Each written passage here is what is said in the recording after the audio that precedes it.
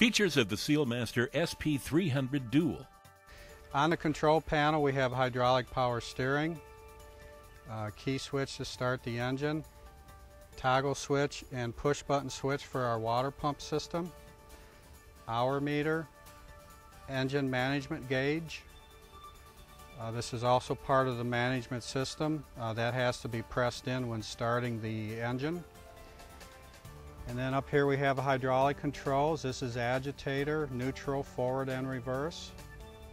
And then we have the up and down uh, lever for the squeegee system, throttle, and then forward and reverse control lever.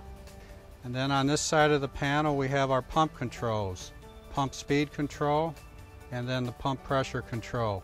And we can control variable pressure and volume with both of these controls. We have twin foot operated dump valves to supply the uh, squeegee box with its uh, material flow. Down here we have a hydraulic cylinder. This will angle the rear squeegee left or right. That's controlled by the uh, control valve uh, up on the side of the control tower there. We then have the spray bar And then over here we have our Sand Pumper 2 material pump and the basket strainer. Material comes out of the tank through the main line here into the basket strainer. Uh, the pump then draws the material up into the chambers. This valve up here is used to supply the spray bar and this is our on and off valve whenever we want to stop the material flow or start it. This valve is for pumping out. Uh, if we want to fill a drum or another tank, we'll use this valve. The valve down on the basket strainer, uh, this can be used to uh, fill a five gallon bucket or can be used for uh, sucking material out of a drum or another tank to fill up the squeegee machine.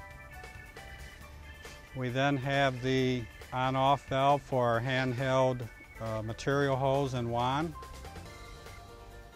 And then this valve is what we call a recirculation valve. Uh, this allows material to flow back into the tank.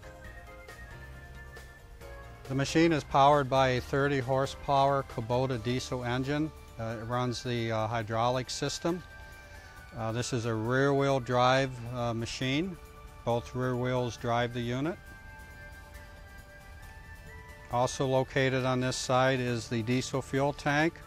Located under it is one of the two 14 gallon water tanks. Also on this side then is our 12 volt water pump. This supplies a, a fogging nozzle which is located above that front tire. This is the water fogging nozzle which is used on very hot days to cool the pavement down a little bit. This is our power steering uh, motor and this turns the front tire almost a 90 degree angle. This unit here is the hydrostatic transmission. This controls forward and reverse of the machine. This is an auxiliary pump which supplies hydraulic oil to all the other functions, power steering, up and down, agitator, and our material pumping system. This is the hydraulic tank for the machine. This whole front assembly is all hydraulic oil, a breather for the hydraulic tank, and then we have a suction line hydraulic oil filter. And then located up here is the engine's battery.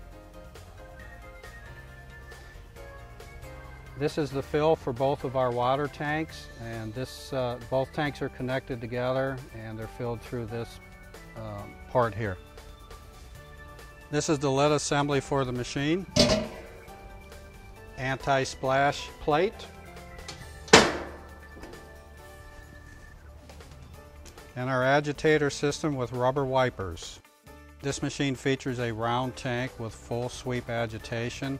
There are also rubber wipers on the blades to help keep the tank walls clean.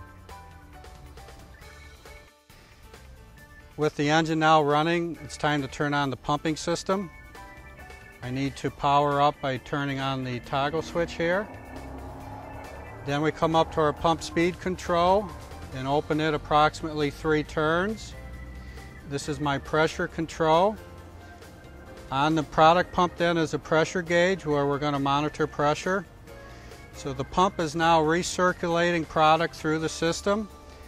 I need to close my recirculation valve and wait for the pump to stop pumping. Uh, we can tell that by the sound that it makes and also by the pressure gauge. The needle will stop moving. At that point then I can either open the valve that feeds our spray bar or if I'm going to use the hand wand, open that valve. This machine has a very tight turning radius. Uh, it's about a 90 degree angle. We can turn uh, practically in our own track.